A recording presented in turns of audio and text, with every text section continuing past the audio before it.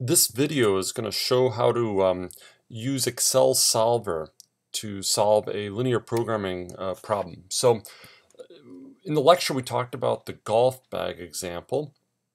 Recall that um, we make two types of golf bags. We either make a standard bag or we make a deluxe bag. And in producing these bags, um, there, there are really four operations that must be performed. So we have to cut and dye the material. Uh, we have to sew it together, we have to do some finishing, and then there's inspection and packaging. Now we were told that um, if we're going to produce a standard bag, it's going to require 0.7 hours of the cutting, uh, half an hour of sewing, one hour of finishing, and uh, a tenth of an hour of, um, uh, uh of uh, inspection. And we generate $10 profit per bag. We, we were also given some parameters for the deluxe bag. And then, let's see, let's go over to the next page. Um, we also have some constraints. So, so we don't have unlimited resources. We have 630 total hours of cutting time. So between the machine and the qualified operators, that's all we can do.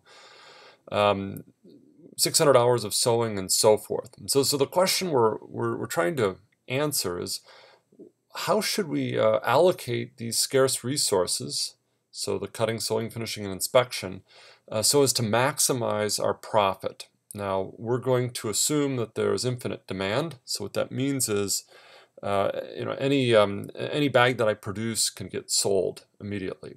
All right, so, so how do we do this? Well, uh, we're going to go over to Excel. I've already typed in some of these numbers. So just to kind of uh, re review, um, we make $10 a profit per standard bag, only 9 on the deluxe bag. So I've entered in a row here, which is the profit per bag, per bag and we're going to have 10 um, you know, dollars per bag for deluxe, 9, 10 for standard, 9 for deluxe.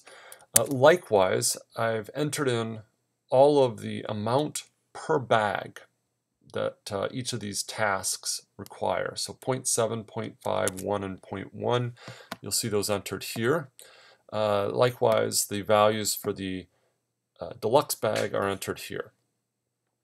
Now, um, let's start by thinking about our decision variables. So the decision variables, we wanted to write them, you know, let x1 equal the number of standard bags produced, and then x2 will equal the number of deluxe bags. Now we need a place to put these. I've put them, I, I want to put them up here. And so I should probably give it some value. Let's just say I make zero of each.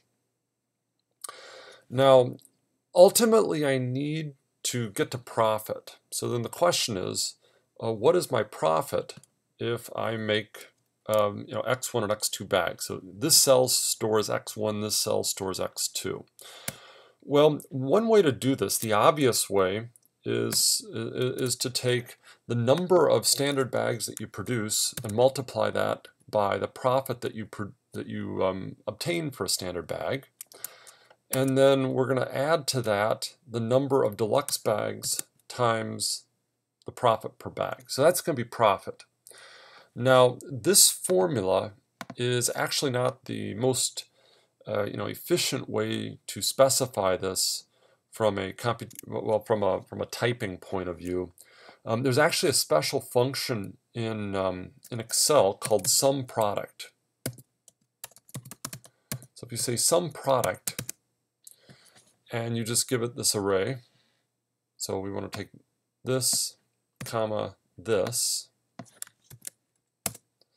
uh, we will get the exact same thing. Now, let's just make sure we know what we're doing on this.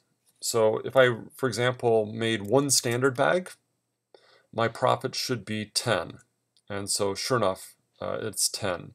Let's say in addition to the one standard bag, I decide to make two deluxe bags. So the two deluxe bags are going to generate 2 times 9 or $18 profit, plus the 10 should give me 28. All right, so good. Uh, it looks like I'm, I'm doing this right. Uh, that's something you always want to do is just check this. Uh, uh I, I, always, uh, you know, I, I'll often make a mistake, so that's a good way to check it. All right, now we also need to know the total number of hours used. So we're going to do roughly the same thing. I'm going to say sum product, got to spell it right though. And my first array, I'm going to specify as $3 through $3. Had I been clever, uh, I would have put the dollar signs up there and I could have just copied this down, but it's not going to hurt us to copy it. Now we want to multiply that by B7 colon C7. So let's just um, think about what the answer should be. So I'm going to make two deluxe bags, which will take one hour each, so two hours, plus 1 times 0.7 should be 2.7 if I've set this up correctly. So sure enough, we have 2.7. Now because I put those dollar signs in, it's going to hold those cell references constant, and I can just copy this down. So I always double click on that little corner thing. And maybe we should do one more just to make sure that we, we've got it. Okay, so let's look at inspection. 1 times 0.1 is 0.1. 2 times 0.25 is a half. So half plus 0.1 should be 0.6. It looks like um, we're okay. Now, the one thing I neglected to do is to enter in the available hours. So let's go get those available hours. So 630, 600. So we have 630 of these. We have 600 of these. 708, 135. So 708, 135. We've now um, got the spreadsheet all set up and ready to go. We just need to use Solver. So we're going to go up to uh, was it Tools and then Solver. I'll bring this down. Now, the absolute first thing we need to do is to set our objective function. So our objective function is in D4. So remember D4 is the uh, total profit that we make. And we also have to tell Excel whether we want to maximize or minimize it. The default is to maximize, and that's exactly what we want. Now, we're going to maximize this profit by changing certain cells. Which, which cells do we change? Well, those are the decision variables. The decision variables were up in B3 through C3. So these two cells here, B3 and C3. If you don't want to type, you can um, go copy those in. I'll, I'll, show you how you can do that. You can go like this, and it, it copies it in for you. So B3 through C3. Now we've got some constraints. So remember the, the constraints here are in the number of hours that we have available. So I'm going to add a constraint at this point, and the add constraint window uh, flew to my other screen. So one set of constraints, you always enter these in in blocks, is um, the total hours that I use must be, okay, less than or equal to is the default, and that's exactly what we want, must be less than or equal to the, the available hours that we have. So that's going to be all of those. Now, oops, I think I did something wrong there. Let's let's redo this. I'm kind of worried that I. So uh, remember this. Now you got to click on constraint and you you you highlight all this. All right. So now if you hit OK, what you'll see is that we've added a constraint. Now we can add as many as we want. If we want to edit it, we can do that as well. If we added some stuff we don't want, we can delete it. Um, I want to point out another thing. So this box by default is checked. So leave it checked. Uh, this is make uh, unconstrained variables non-negative. All right, so what that means is that these decision variables, so the number of deluxe bags and the number of standard bags, must be non-negative. In other words, we can't make negative bags. Um, the fewest we could possibly make is zero. So when we specified our constraints earlier on, in the Excel, we always said, you know, our decision variables had to be non-negative. Well, that's how we enforce that. One more thing, if we go down to the uh, solving method, this is a, um, a, a linear programming problem, and the default optimization method is a nonlinear optimization method. that nonlinear optimization method is kind of overkill. Um, I got to get this thing down. I just changed it to simplex um, on my other screen.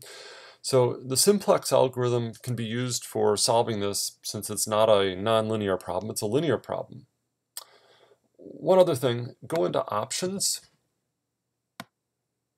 and you can see what, um, what we have available here. Um, we don't need to change any options uh, for this problem. Keeps coming down. All right. So once you've done that, so, so in summary, you have to set the objective function, you have to set your um, decision variables, set the constraints, make sure that they're non-negative, and then you want to use the simplex method whenever you have a linear programming problem. Go hit solve, and that's all you have to do. Now you'll see that uh, Excel has, has uh, tried a bunch of combinations. Um, we also want to get some sensitivity plots. So keep the original solution, give us some sensitivity plots, and go hit OK. And you'll see that there's now a another tab with some sensitivity reports that we're going to go over later. All right. Now, um, what the solution says is that we ought to be making 540 standard bags and 252 deluxe bags. And our total profit is going to be, I'm just going to write this down, 7668 per second.